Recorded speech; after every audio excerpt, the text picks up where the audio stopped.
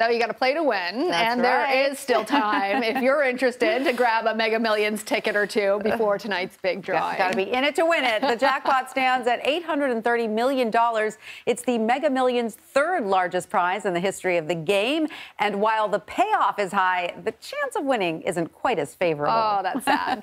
but according to Mega Millions, you only have a 1 in 302 million chance of winning the jackpot. We can give you a little bit of context, a little bit of a comparison for that. You are actually about 300 times more likely to be struck by lightning than win the Mega Millions, and you are nearly 70 times more likely to be killed by a shark. I don't know why Ouch. we're Yeah, all, that's- all of our comparisons are so negative. right, there could be some good things that you're more likely to do, right? But if you, like, here's one if you had childhood dreams of becoming an astronaut, well, that's a safer bet than winning the big prize. And here's some more good news there are some prizes you have a higher chance of earning. You do have a 1 in 37 chance to win the Mega Ball pick itself.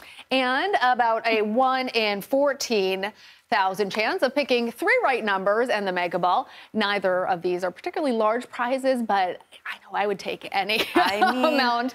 Uh, it's always a chance to win a small bit of cash for La- yourself. Lana and I are definitely going out on our break and buying tickets, Yeah, right? well, Why not? I like we, we like to do it when when they get to be these really big ones, right? And uh, what's interesting, obviously, is that the chance of winning all those statistics they don't change when there's more people who play. But of course, when it becomes one of these bigger It's a- national events, It's a big cultural event. You just want to feel like you're part of the excitement, right? Yeah, you know, and I think with all the inflation stories we've been doing lately, you know, it feels even even better. It's good to have something to look forward to. All right. So uh, these are the stories and live events